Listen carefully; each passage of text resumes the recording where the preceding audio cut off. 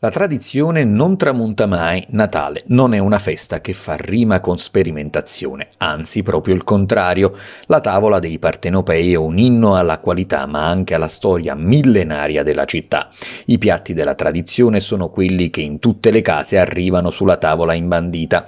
Lo spaghetto con le vongole e il baccalà sono di sicuro il primo e il secondo di pesce più gettonati la sera della vigilia. A proporci le ricette lo chef Rosario Izzo e il suo staff di Napoli Napoli 1820. È un piatto della tradizione natalizia, però la cosa molto importante è fare soffriggere bene l'aglio, soffriggere anche un po' di prezzemolo per dare più sapore e usare un prodotto con una vongola verace, non altri tipi di vongole e non bisogna salarlo. Si mangia tanto alla vigilia e quindi abbiamo pensato di fare un baccalà scottato su, con delle cimette di friarielli eh, saltate in padella. Accanto ai primi ecco i contorni come la menestra ammaretata preparata da Peppe Maiorano della chitarra e la frittura all'italiana dello chef Gramaglia. La minestra maritata viene preparata con un misto di verdure e con un brodo fatto altrettanto con carni misse. Normalmente si usano eh, il maiale, la, il manzo e il pollo, la gallina in questo caso.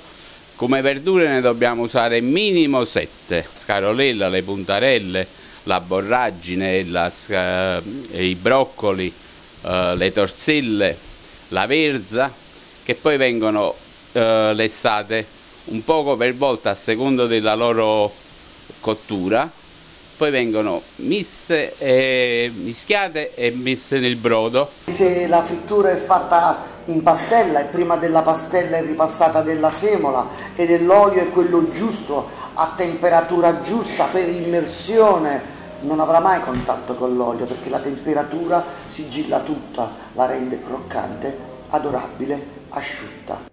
Menzione a parte per la pizza di scarole che Maria Cacialli, della figlia del presidente, realizza così. Noi facciamo una scarola classica con le olive nere, eh, un pecorino romano grattugiato e provola affumicata.